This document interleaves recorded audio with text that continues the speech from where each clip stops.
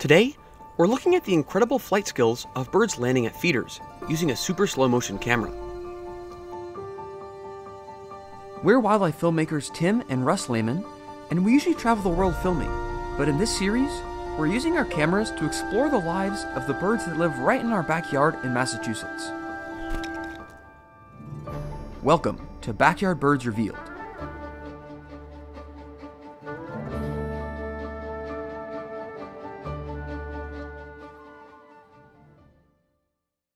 Wild Birds Unlimited helps you bring the joy of bird feeding to your backyard. With more than 365 stores, our experts help you choose the right food and feeders for your neighborhood birds. Shop online or find your local store at WBU.com. So on this camera, I'm filming at regular speed. So one second is one second, just the way we see it with our eye. But on that high speed camera, Russell's one second of footage is going to be turned into 40 seconds when we play it back. We're not going to play a whole 40 seconds. We're going to play a fraction of a second. So we're going to be able to see what these birds are doing so they don't just crash into the bird feeder.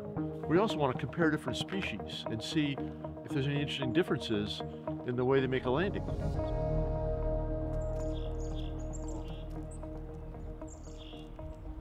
Oh yeah, that, that was a really good one.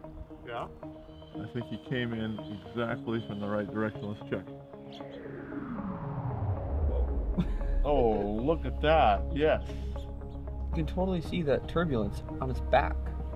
Yeah, I see that. You see what I mean? Feathers Like on the his feathers on his back are like rippling, rippling with the with the Yeah. turbulence. You know, when, when the uh, chickadee's coming in for a, a landing, we can't even really see you know, how many It's like times a it's beating its flurry. wings. It's like a little, it's like a little whir, Yeah. a little whir of wings. But You can see that. yeah, but in the slow motion camera, we can see that even when he enters the frame, he beats his wings like three or maybe even four times before he lands.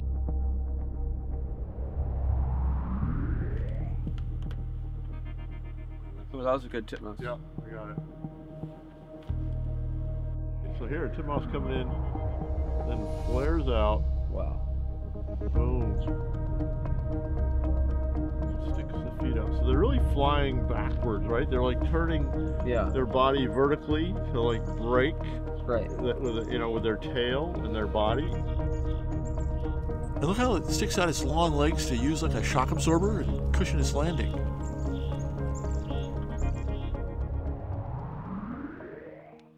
I think it'll be really cool to get some shots of some of the bigger birds, like a mourning dove or something like that. They're a bird that usually looks kind of calm and friendly, but I think in super slow motion they might look super epic and really, really cool. You look at this stuff, Dan.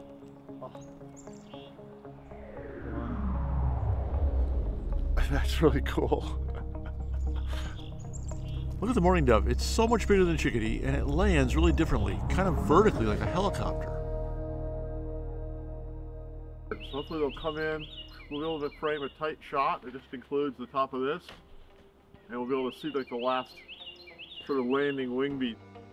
All right. Well, now we've moved our cameras over here to try to get like the head-on shot. Probably be really cool to see, you know, from head on as they come in for the last part of the landing, you know, how they're flaring out their wings and their tail and trying to capture that. All right. All right. That. yeah, that backlighting looks so cool. Backlighting is so cool. All right.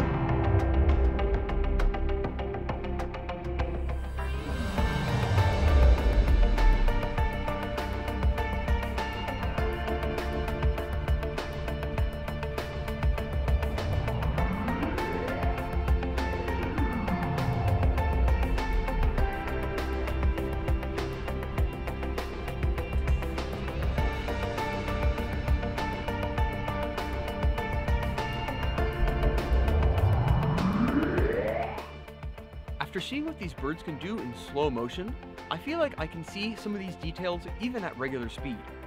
It makes it that much more fun to watch the birds at my feeders, and I hope it makes it more fun for you to watch yours as well. Thanks for tuning in to Backyard Birds Revealed.